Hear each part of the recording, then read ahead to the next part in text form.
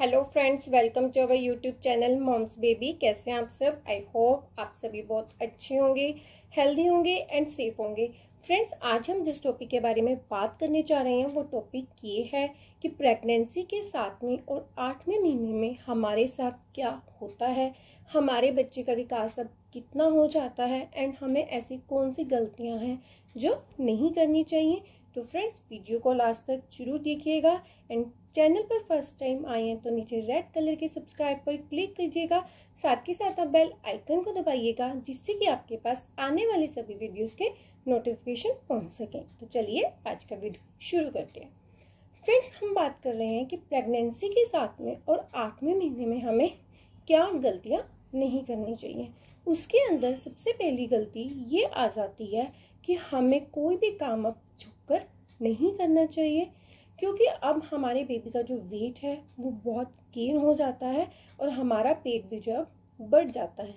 तो हमें सातवें महीने में झुक कर काम करना बंद कर देना चाहिए।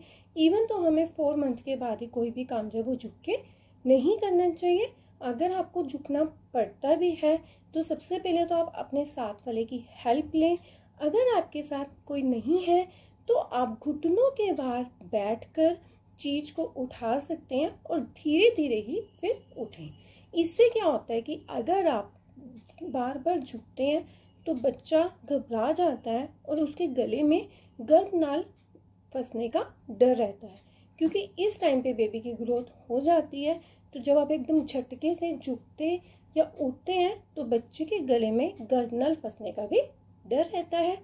सेकंड गलती ये होती है कि हमें इन दो महीनों में कोई ऐसा काम नहीं करना जिससे कि हमारी प्री मेच्योर डिलीवरी हो सके, क्योंकि ये ऐसे टू मंथ होते हैं जब हमें प्री मेच्योर डिलीवरी का डर बहुत ज़्यादा रहता है। उसमें सबसे पहले आता है ट्रैवलिंग कि हमें किसी भी ऐसी जगह पे नहीं जाना चाहिए, खासकर हमें हिल स्टेशन को अवॉइड करना चाहिए, जिससे कि हमारी प्री मेच्योर डिलीवरी ना हो सके। एंड सेकेंड चीज़ आती है कि आपको सोने का ध्यान रखना चाहिए, कि आपको सही पोजीशन में सोना चाहिए।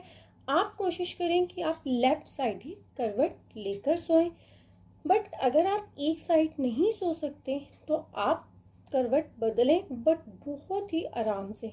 अगर आप झटके से करवट बदलते हैं तो भी गर्भनाल का फंसने का डर रहता है।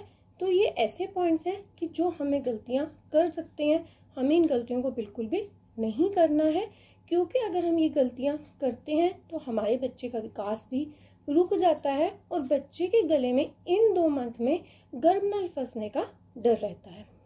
अब बात आती है कि हमारे बच्चे का अब वज़न कितना हो जाता है, हमारे बच्चे का अब सातवें और आठवें महीने तक कितना विकास हो जाता है। क्या होता है कि ये अब हमारा बच्चा पूरा अच्छे से ग्रो कर रहा होता है तो उसका वज़न एक, डेढ़ या दो किलो भी हो सकता है। मैक्सिमम इस टाइम पे जो बच्चे का वज़न होता है वो एक से डेढ़ किलो के बीच में होता है और बच्चे की जो लंबाई है वो चौदह से सोलह इंच के बीच हो जाती है और अब बच्चा अंदर घूमना शुरू कर देता है। बच्चा हिचकियाँ लेता है, बच्चा किक मारता है। अगर आप पेट पर हाथ फेरते हैं तो वो आपको फील भी दिलाता है कि वो अंदर ठीक है, वो किक मारेगा, हिचकी लेगा तो आपको फील होना शुरू हो जाता है। बहुत अच्छे से बच्चा अब जो है वो मूवमेंट कर रहा होता है। ये ऐसा टाइम होता है कि जब आप बच्चे को गर्भ संस्कार भी दे सकते हैं। कहा जाता है कि अगर हम गर्भ संस्कार बच्चे को देते हैं तो बच्चे के माइंड डेवलपमेंट बहुत अच्छी होती है बच्चा इंटेलिजेंट होता है। तो बुद्धिमान बनाने के लिए बच्चों को आप जो चाहें गर्भ संस्कार दे सकते हैं। लोग धार्मिक किताबें पढ़ते हैं इस मंथ में आगे, ताकि बच्चा जो है हमारा संस्कारी बने। तो आप जो चाहें आप बच्चे को इस टाइम पे गर्भ संस्कार दे सकते हैं, क्योंकि अब वो बाहर की आवाज़ों को अच्छे से सुन सकता है। अब बात आती है कि आपके साथ सातवें और आठवें महीने में क्या होता है? आपको कौन कौन सी परेशानियाँ हो सकती हैं?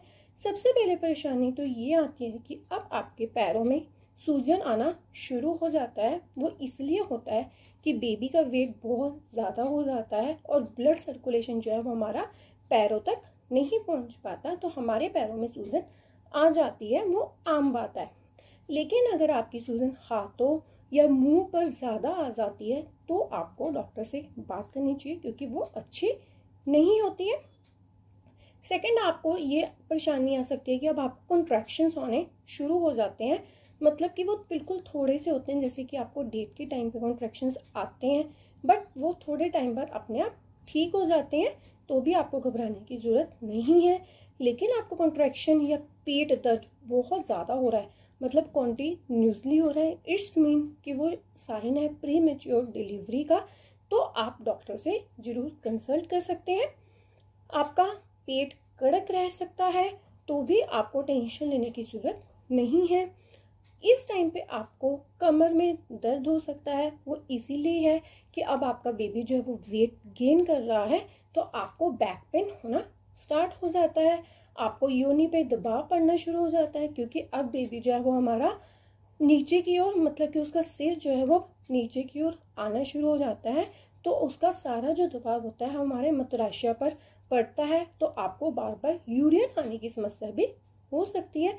तो ये ऐसी सारी परेशानी हैं जो आपको सातवें और आठवें महीने में हो सकती है और इस मंथ में आपके बेबी का विकास भी अच्छे से हो जाता है।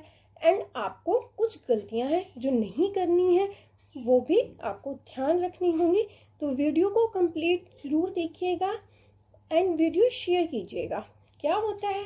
आप प्रेग्नेंट नहीं है, लेकिन आपके फैमिली फ्रेंड सर्कल में अगर कोई प्रेग्नेंट है तो उसके लिए वीडियो हेल्पफुल हो सकता है। ओके बाय टेक केयर मिलते हैं नेक्स्ट वीडियो में.